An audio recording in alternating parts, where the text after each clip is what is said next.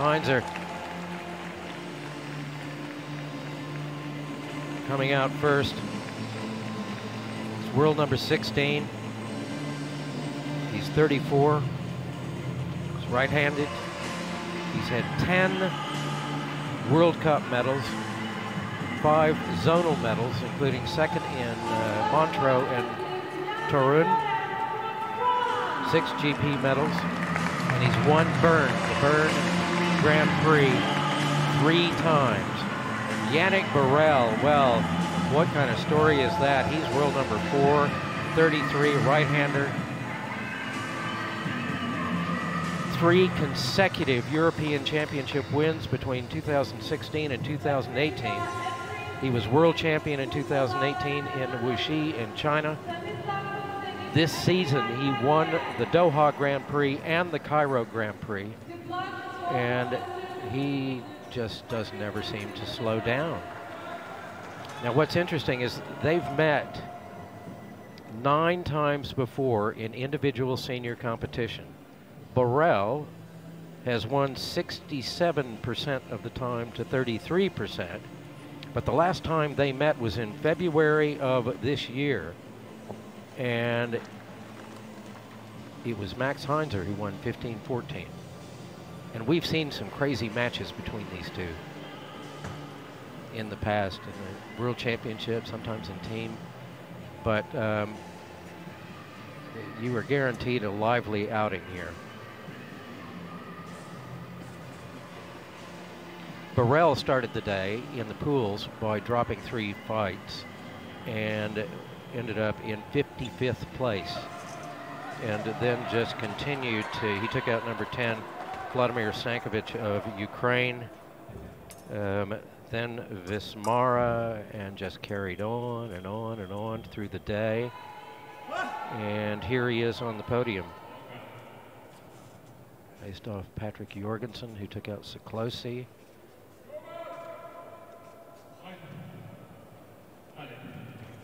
And we will see what these two greats have got for us.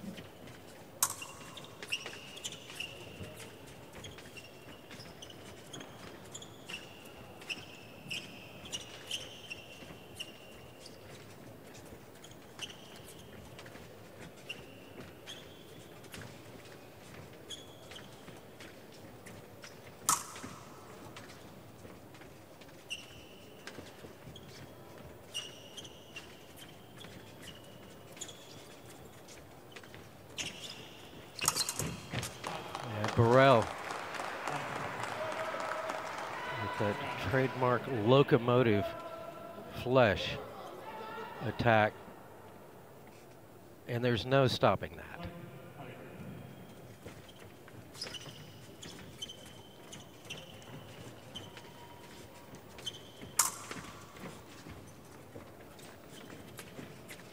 Aside from being a champion at the European World level.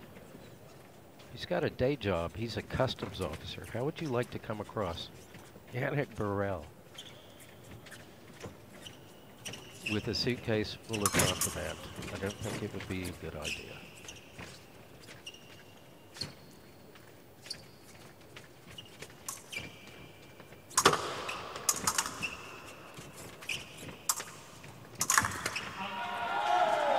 Well,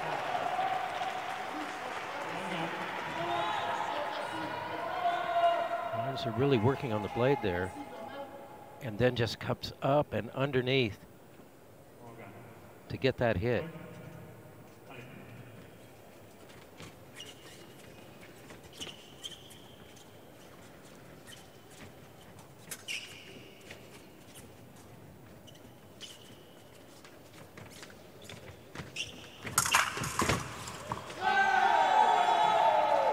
Again, Heinzer attacking the blade and closing the distance really rapidly to be inside the point of Borel's weapon. There is a considerable size difference between these two. But Heinzer's strength, if you've ever seen a video of some of his workouts, um, he puts in the work, that's for sure.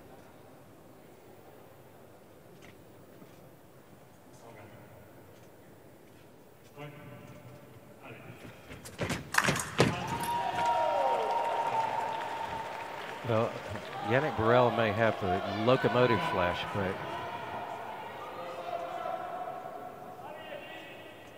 Heinzer's got the 100 meter dash flash.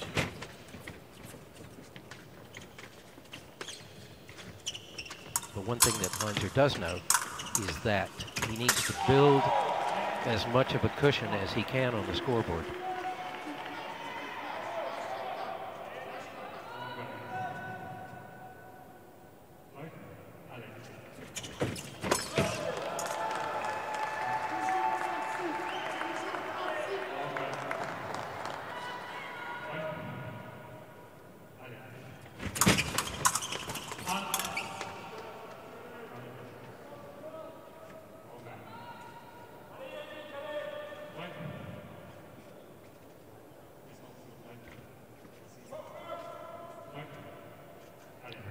For distance.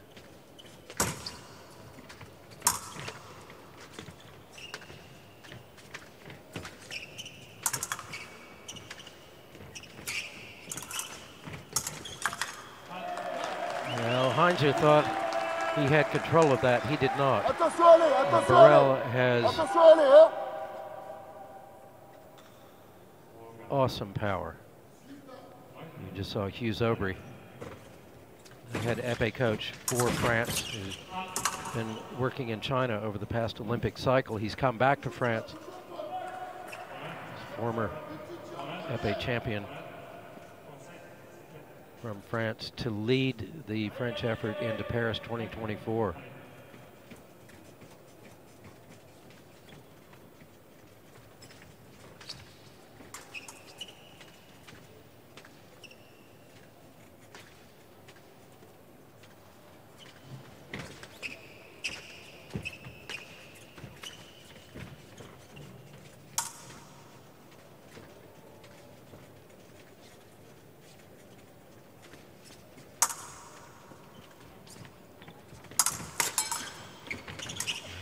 Nice parry there from Heinzer, but Borel backed off.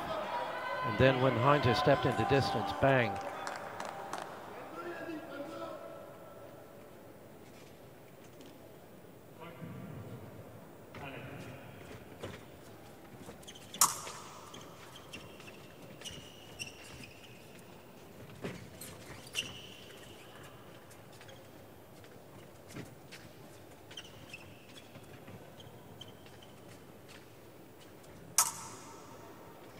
And time's going to run out here in our opening period, and we go out as we came in, level. Five for Heinzer, five for Borel, and I think we've got a pretty good match on our hands here. Heinzer has got a, a very unconventional style for what you think of in terms of epee, and part of that has to do with the fact that he started life as a foil fencer. And he's brought some of that with him, especially with his love of flicks.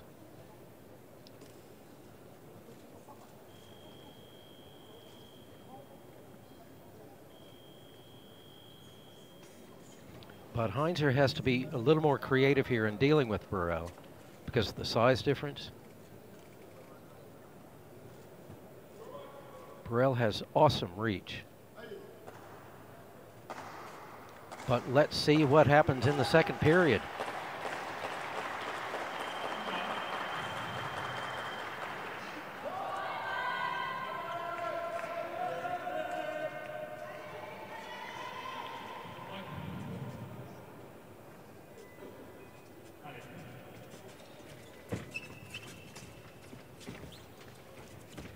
Not to mention, Adrian Speakman of Great Britain is our referee for this second semifinal.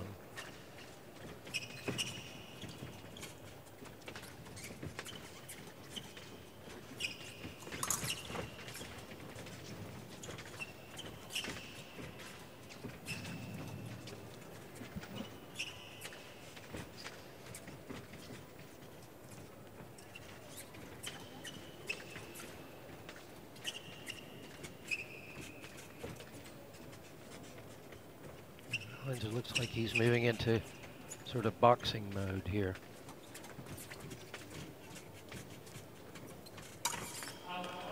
And Borel says, yes, that's nice, um, and just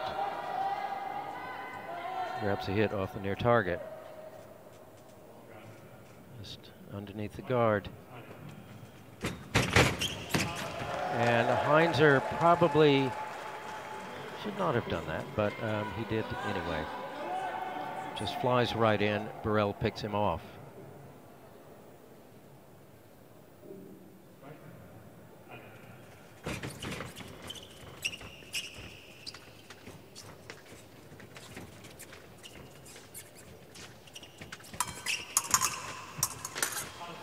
Well, here's the thing. If Yannick Borel settles in here and starts building a lead, he's not going to let it go. All right, Heinzer gets one back there.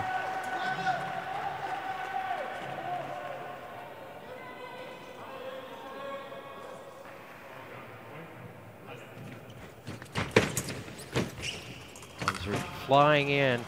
And again, it's, it's not like Yannick Borel hasn't seen this before.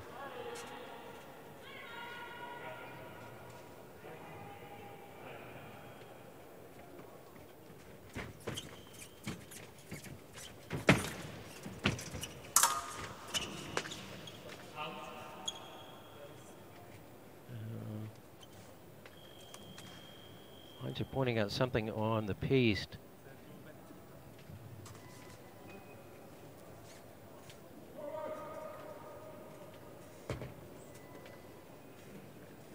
We know there have been a couple of instances where the air conditioning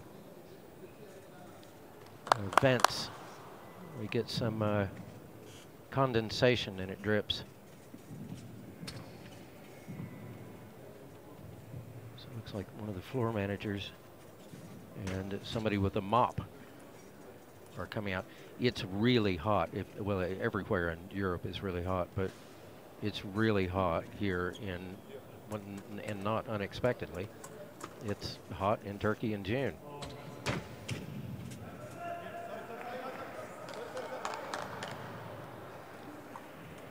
see another one.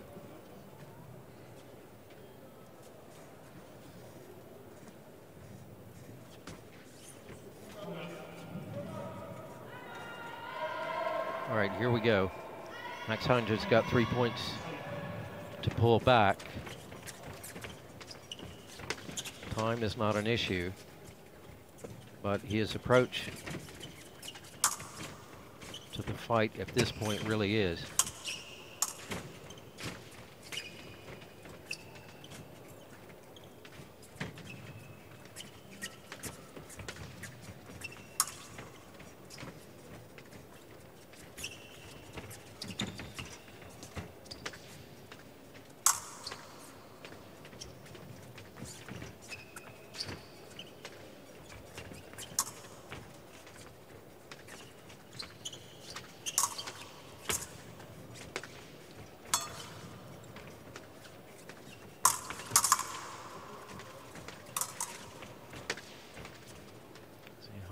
Now really having trouble getting inside Borel's point.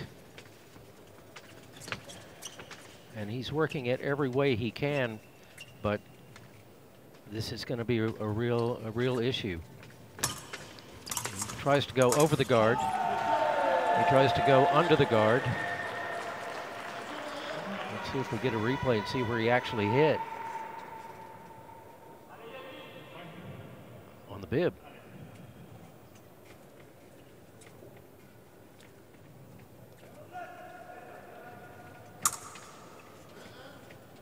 But the amount of work he had to put into getting that one point. I mean, these two have burned up more calories in this match than an entire gym full of people. And the clock is going to wind down here.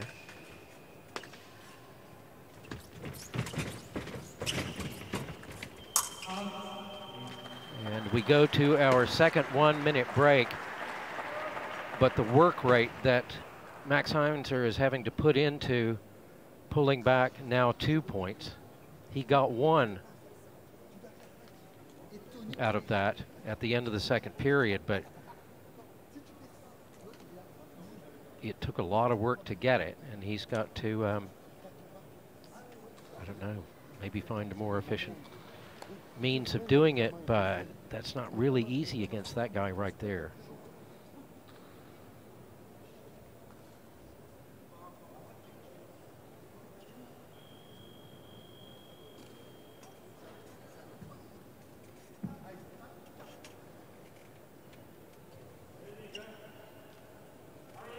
That was an absolute beauty from Borel taking the blade.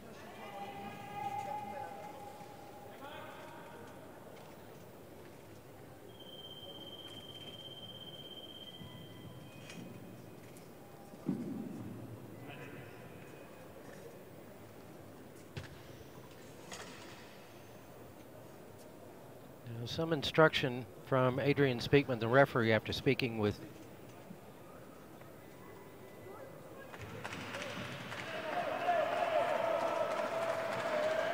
after speaking with Heinzer. I think he's asking for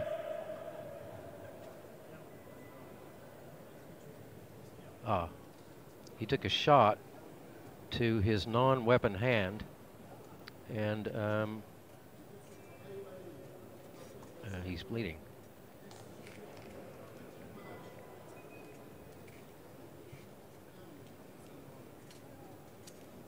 Asking to be taped up.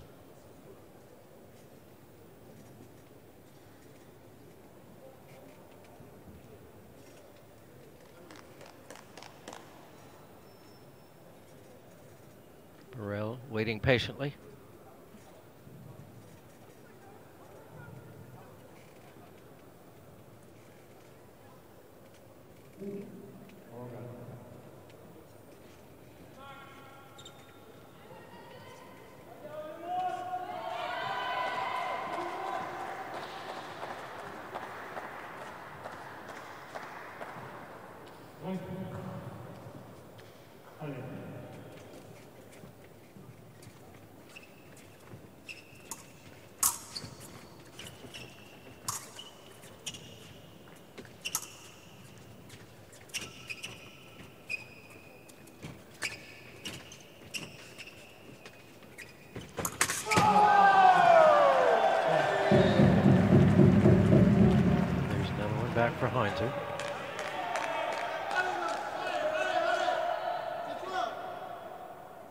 Was very nicely executed. Coming in on a high line, dropping down for a hit to the foot.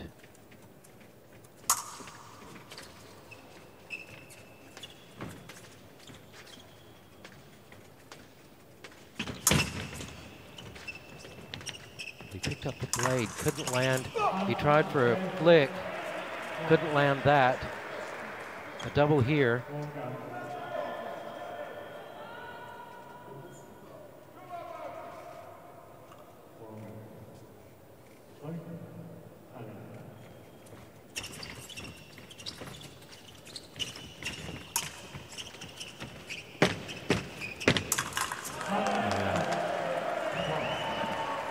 Create an opening. And Yannick Borel just gets his arm out.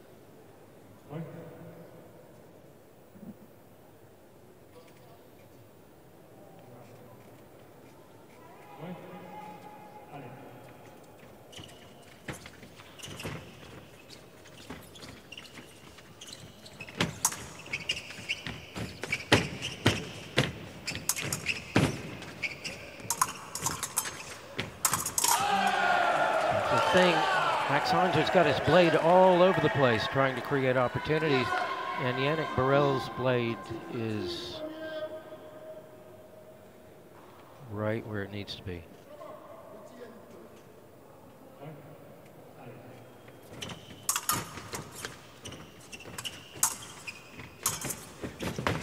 And a lot of that is sort of the French way of doing epee, which is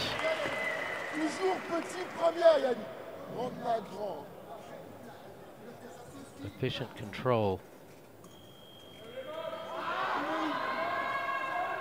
I'm afraid it's slipping away here from Heinzer. He needs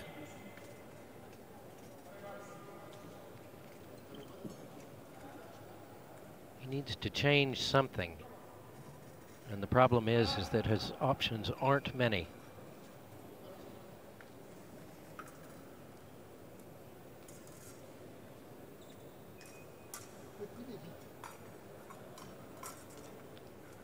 But one option is to surrender your weapon and take up a new one. Perhaps find some inspiration. He's had a minute here to think about it while he changes the weapon. They're going to let's check the guard.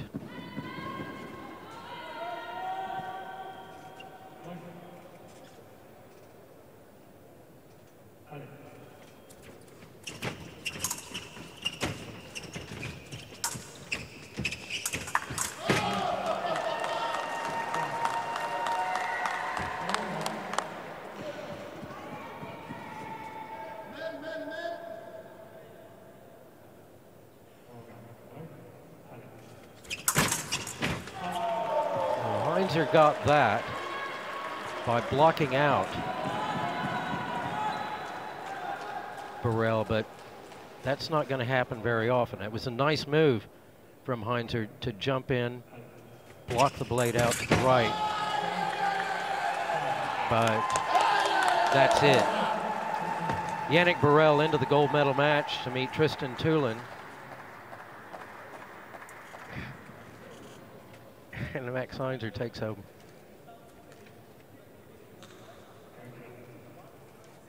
And they shake hands. Max Heinzer will join his teammate Alexis Bayard on the podium later to both collect bronze medals.